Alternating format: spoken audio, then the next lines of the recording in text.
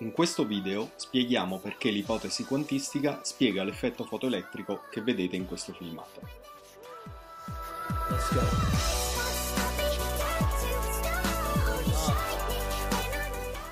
Questa moneta vicino al bordo del tavolo rappresenta un elettrone legato a un atomo. La distanza dal bordo rappresenta l'energia di legame.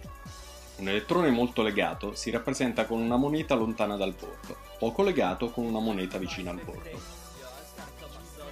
Un fotone giallo è una particella poco energetica che rappresentiamo con una moneta da 5 centesimi. Se questo fotone urta l'elettrone non riesce a liberarlo perché non riesce a trasferirgli la sua energia, tra l'altro scopriremo che l'energia di legame degli elettroni in un atomo è quantizzata, quindi il fotone che urta l'elettrone neanche lo avvicina al bordo, semplicemente lo lascia dov'è. Un fotone blu invece ha un'energia abbastanza alta e lo rappresentiamo con una moneta da un euro. Se questa moneta colpisce l'elettrone, lo spinge al di là del bordo del tavolo e lo libera dall'atomo. In un disco di metallo ci sono milioni di miliardi di miliardi di elettroni.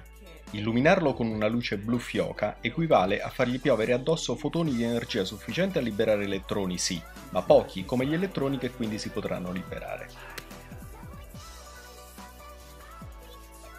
Se invece lo illuminiamo con una luce intensa, sul disco finiscono tanti fotoni che possono liberare altrettanti elettroni e l'effetto è più intenso.